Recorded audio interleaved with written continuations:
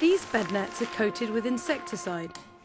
Even when the net is damaged or torn, the chemical still works. Soon after a mosquito lands on the net, it dies. They've been a huge success.